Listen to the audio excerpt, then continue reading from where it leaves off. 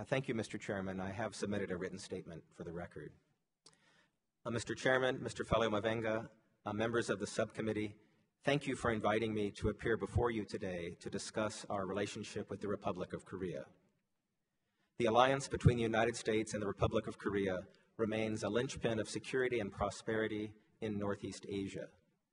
This alliance has never been stronger.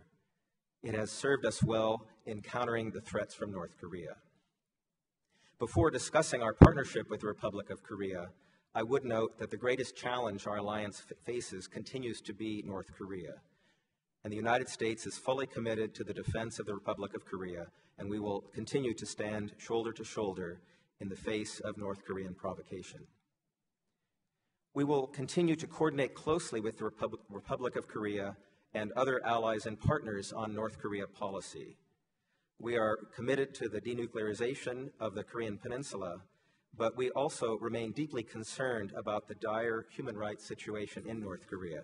And I agree with, uh, with the members' comments that we need to work very closely with our allies on addressing North Korean human rights issues. The U.S. Republic of Korea Comprehensive Strategic Partnership is based on our common values, our shared interests, and trust built up over decades of cooperation. Our common values of commitment to freedom, democracy, and the rule of law, along with the close ties between the Korean and the American peoples, um, form a foundation of an increasingly global partnership between our two great nations. The Republic of Korea embraces its role as one of the world's wealthiest nations with the capacity and the responsibility to contribute to resolving global problems. The United States and the rest of the international community benefit from Korea's growing global leadership and engagement. Our bilateral ties are growing and deepening. In the last three months, uh, our relationship marked three major milestones. The first, as many of you mentioned, was the coming into force of the U.S. Korea Free Trade Agreement. The second was President Obama's third visit to Korea as president. And the third was the Republic of Korea uh, cementing its status as a country with global interests when it hosted more than 50 world leaders for the 2012 Nuclear Security Summit. The United States and the Republic of Korea already enjoy one of the world's most vibrant economic relationships. The entry into force of the U.S. Korea Free Trade Agreement will lead to even more trade and investment between our two countries.